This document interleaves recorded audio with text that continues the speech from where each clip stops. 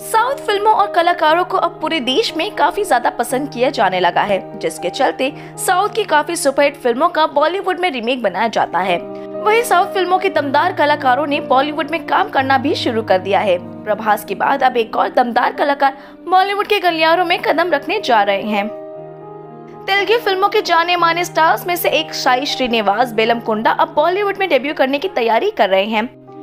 तो वही अगर फ़िल्म की बात की जाए तो ये एस एस राजा मौली के निर्देशन में बनने वाली फ़िल्म है, जो कि प्रभास तरर सुपरहिट फ़िल्म छत्रपति के हिंदी रिमेक में स्टाई श्रीनिवास बिलम कोंडा काम करते हुए नज़र आने वाले हैं। वही इस फ़िल्म के प्रोड्यूसर की बात की जाए तो पेन स्टूडियो के मालिक जयंती लाल गड़ा इस फ़िल्म को प्रोड्यूस करने वाले हैं। इस फ़िल्म को लेकर जयंती लाल ने बात करते हुए कहा है कि इस फ़िल्म की कहानी काफ़ी शानदार होने वाली है। हमें इस फ़िल्म के लिए साउथ का एक बड़ा सुपरस्टार चाहिए था जिसके लिए हमारे जहन में साई श्रीनिवास नाम आया। हम इस फ़िल्म में कई बदलाव करने वाले हैं। ये फ़िल्म अभी तक हमारे प्लान के मुताबिक चल रही है।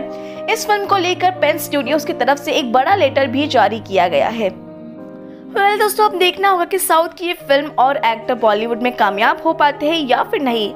वेल दोस्तों, आपको बता दें कि इस फ़िल्म ने प्रभास को एक बहुत बड़ा स्टार बना दिया था। साउथ फ़िल्मों के फैंस इस खबर के सामने आने के बाद काफ़ी ज़्यादा एक्साइटेड नज़र आ रहे हैं। आप इस फ़िल्म को लेकर कितने ज़्यादा एक्साइटेड है, नीचे कमेंट सेक्शन में ज़रूर बताएँ और हमारे चैनल को सब्सक्राइब करें।